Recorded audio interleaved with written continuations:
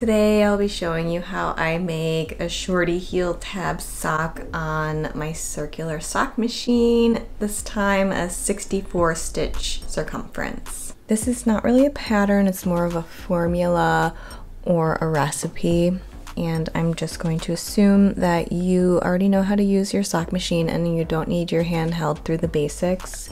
I will do some basics videos later, but right now I just want to show you how I go through this sock. This is the yarn I'm using today. It's a sparkle base and it came with these two minis, but I'm not using these today.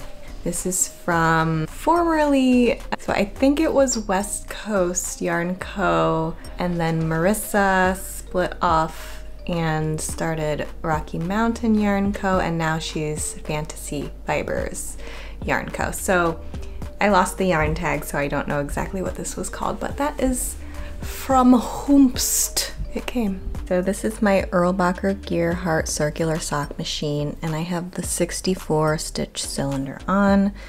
Everything is already set up. I have the setup bonnet and some waste yarn on. So I'm gonna get going. Gonna attach the sock yarn. I have it through here already. And what I always say is I'm very adamant about always using the the heel spring throughout the whole sock. So we're gonna put it on and get going. Okay, so we've got this attached. I'm gonna put my row counter to zero. And we're gonna crank forward 10 rounds. Okay, so now we're gonna stop with our tension guy right here in the front. I have a blue spot right here. That's the center front. And I'm going to lift up the back half of the stitches. I have red marks on my cylinder here and here that show where the halfway marks are. Those are just done in nail polish so they don't come off. So I've lifted up half the stitches, then I'm going to lift up three more on either side. So this is where we're going to start the heel tab at the back of the sock. So I'm going to crank forward, and put on my heel weights, these are the ones that I have.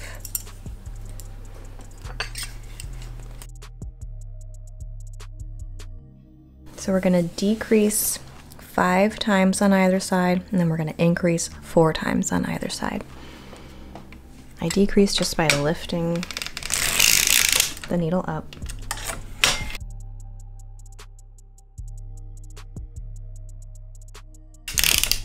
Okay, that was five times on either side gonna lift the weights up and in. I'm gonna increase back out. All I do is push down the needle. I don't move the yarn. It sits in front of the needle but behind the latch. So when you knit, your yarn carrier forces the latch to stay open and then the latch grabs the yarn and knits it down. So we're gonna do this four times on either side.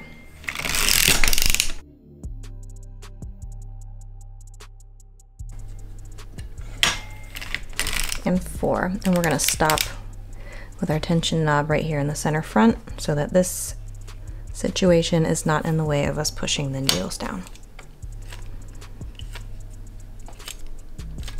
Okay, make sure all of our latches are open.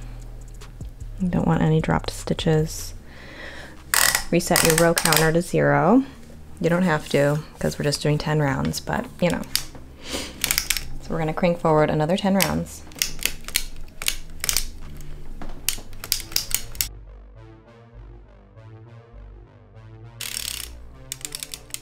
You can stop wherever you want. Um, it doesn't super matter because now we're going to hang the hem. So I'm going to take all of my weights off.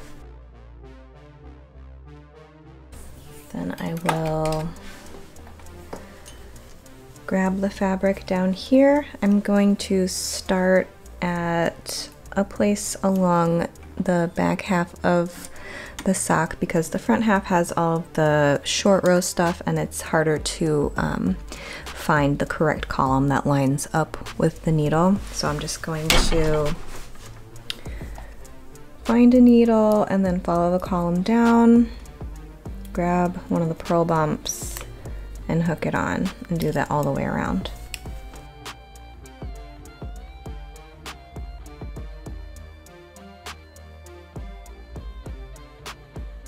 Okay, now that we've got all of them hooked on, we're gonna knit around once to get those two stitches knit together. Now we're gonna put our weights back on. So this is the, the space between the cuff and the heel, so we're going to knit forward another 10 rounds.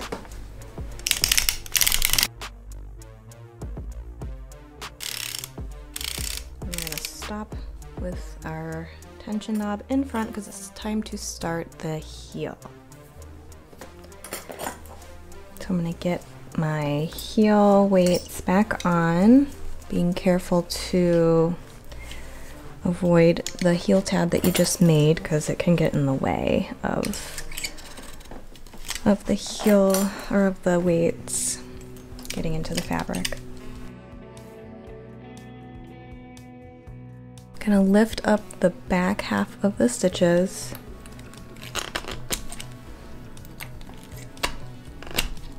And for all socks but especially shorty socks I like to do more than 50% of the stitches. So this is a 64 stitch cylinder. Half the amount of stitches would be 32 but we're going to push down another three on either side so we are going to be working our heel across 38 stitches instead of 32 this is going to give some nice depth to the heel so it's not pulling across the front of the foot, but it doesn't make the heel end come to a point and have extra fabric there. So we're gonna crank forward and get started. So I'm going to decrease from our 38 stitches here down to um, 12 stitches in the middle.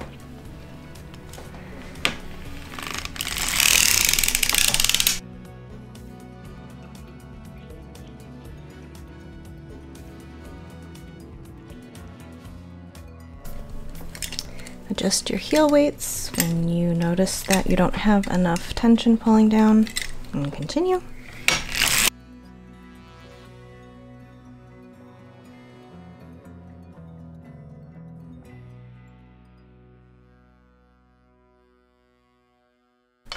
Two, four, six, eight, ten, twelve, fourteen, thirteen, and 12. So I'm to adjust the heel weights one last time so they're all the way up and all the way in. And I'm to start increasing back out. The first increase I do by two stitches by pushing two needles down and then knitting forward.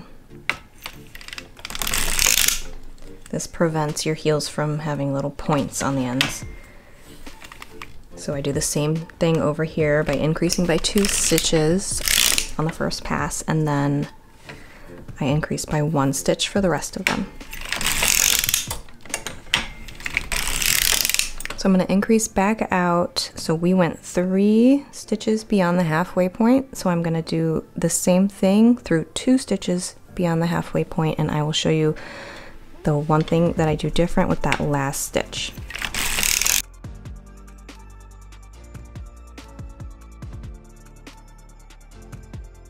Okay, here's the last one that we're doing normally. And on this third needle here, we're gonna push it down and then we're gonna take our yarn and hook it around back of that needle that we just pushed down and the one that's next to it that's standing up. And this will make sure that there's no little gap in the corner of the heel. We do the same thing on the other side. Push the needle down wrap the yarn around back of that needle and the one that's next to it. And now this is the last pass, so we're going to stop with our tension knob right in the center front.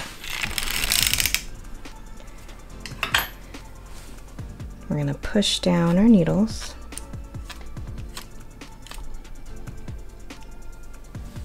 And reset our row counter. So this is going to be for a women's eight, eight and a half size foot. So I'm going to crank 65 rows between here and where I'm going to start the toe.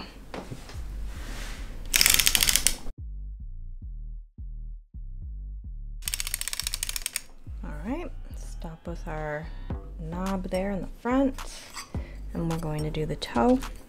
So we're just going to lift up 50% of the stitches at our halfway marks. So that's 32, 32 stitches out of commission and 32 stitches for the, uh, the toe.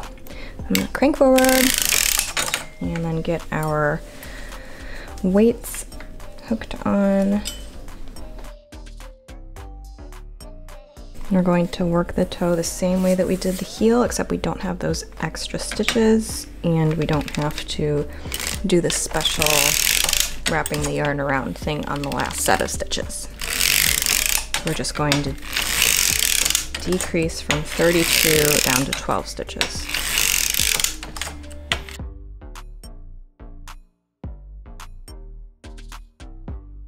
And 12, 14.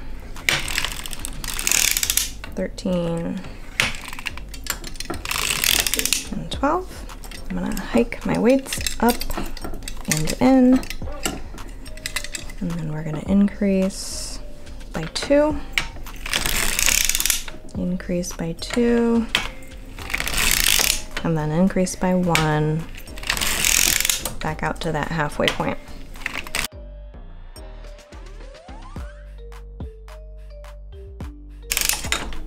Here's the last pair of increases. On this one, we're gonna stop with the tension knob in the front here. We're gonna push back our, or push down our back needles. And then we're gonna crank forward until the latch closes on this last stitch before the halfway point.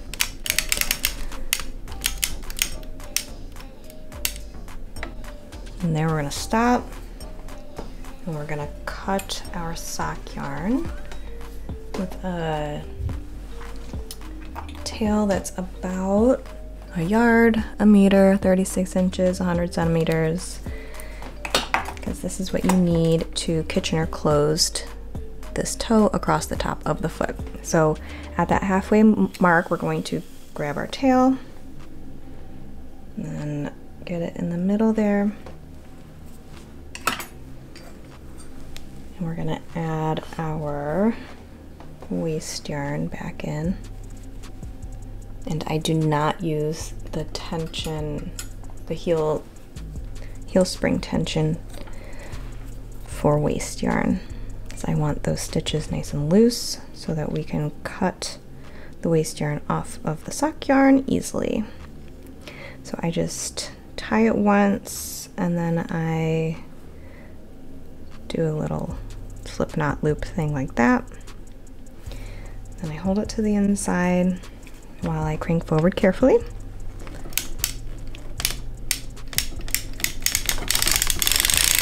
Do about 10 rows of waste yarn. And that's it on the sock machine. If you have another foot, make another sock. Once your sock is off the machine, pick up all your stitches, Kitchener close the top of the foot, and enjoy your new shorty socks with a heel tab.